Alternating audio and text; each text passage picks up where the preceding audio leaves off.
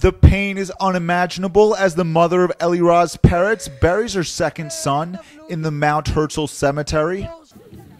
Eliraz Peretz was killed in combat two days before the funeral when one of his grenades was hit by a bullet in a firefight.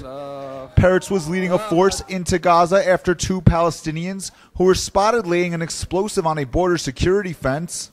Eliraz's older brother, Uriel Peretz, was also an officer in Golani and was killed in southern Lebanon in 1998 by a Hezbollah detonated bomb. Standing between the two graves of her fallen sons, Miriam Peretz pleaded with her dead son, Eliraz. איך אני אתחלק? איך אני אתחלק? איפה יהיה הלב שלי, אלירז? את הלב איתכם!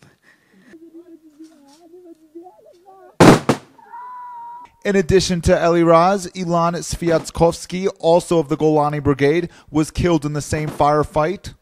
Eliraz Peretz leaves behind his wife Shlomit and four children. And besides her suffering the deaths of her sons Uriel and Eliraz, Miriam Peretz's husband also died four years ago.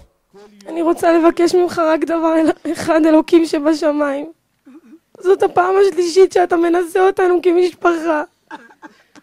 זאת הפעם השלישית בעשרים שנים שאני חיה שאני קוברת אבא, אח ועוד אח.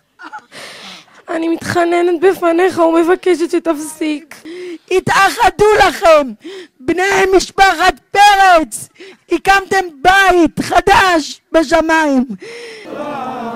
Benjamin Spear reporting for the Jerusalem Post, J Post TV.